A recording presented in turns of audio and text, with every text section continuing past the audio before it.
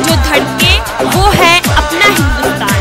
बंसीलाल कौली ग्राम प्रधान विष्णुपुर बिजलीपुर ऐसी समस्त देशवासियों को गणतंत्र दिवस की हार्दिक शुभकामनाएँ देते हुए।